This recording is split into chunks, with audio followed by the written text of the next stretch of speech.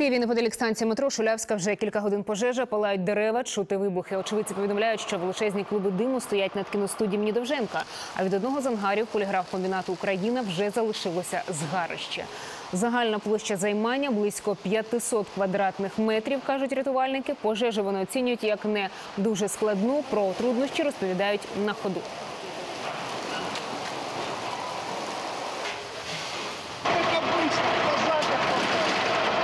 Ну в чем сложность? Основная, скажем. Ну, большая территория большая.